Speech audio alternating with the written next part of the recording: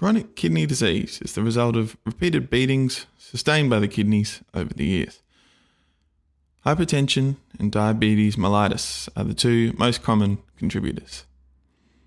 The kidneys shrink as their functional nephrons die off, one after another. CKD eventually manifests as insufficiency of all the major functions of the kidney, just fluid balance, waste excretion, acid base homeostasis, and then its endocrine role. To diagnose CKD, we want to get an idea of how the kidney's million glomeruli are faring. To do this, we measure serum creatinine, which is a waste product the kidneys are supposed to get rid of, and put it into a calculator with the patient's height and gender. We then get a value called the estimated glomerular filtration rate, or EGFR. And the units for that are mils per minute per 1.73 meters squared. This allows us to stage the disease on our GFR meter here.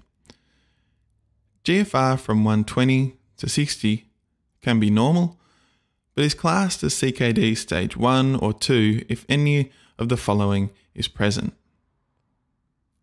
albuminuria, hematuria, pathological abnormality of the kidneys, or structural abnormality of the kidneys.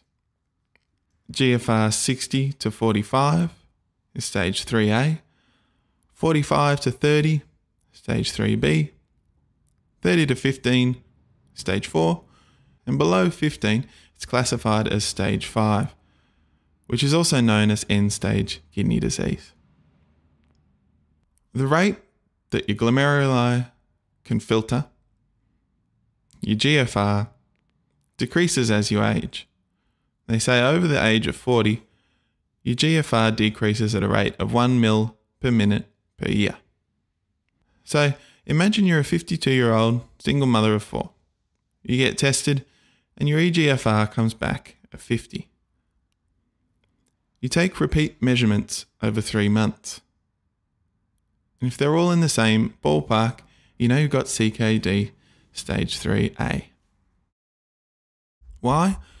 Well, you're a smoker you're a bit overweight, and it becomes apparent with some testing that you've had undiagnosed hypertension and type 2 diabetes attacking your kidneys for the last several years. And next step is to treat those underlying causes and reduce, as best we can, further progression of your CKD.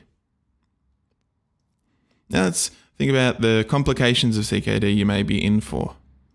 These include cardiovascular disease, hyperkalemia, mineral bone disease, metabolic acidosis, and anemia.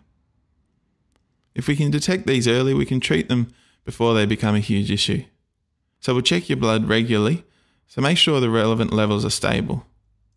We'll check your blood pressure, check your potassium, check your phosphate, we'll check your pH, your hemoglobin, and so on. As our case is displayed, Kidney disease is closely linked to cardiovascular disease.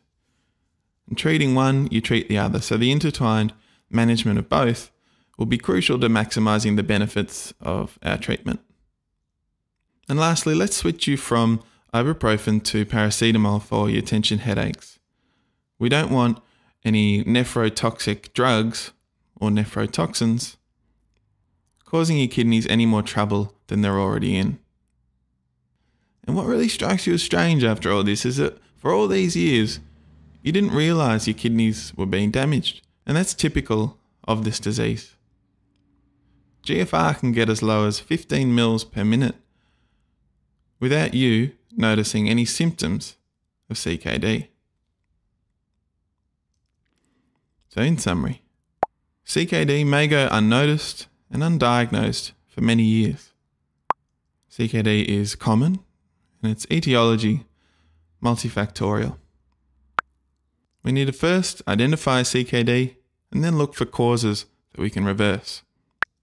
Staging helps us determine the patient's prognosis. And lastly, CKD increases cardiovascular disease risk. So the management of both is tightly linked.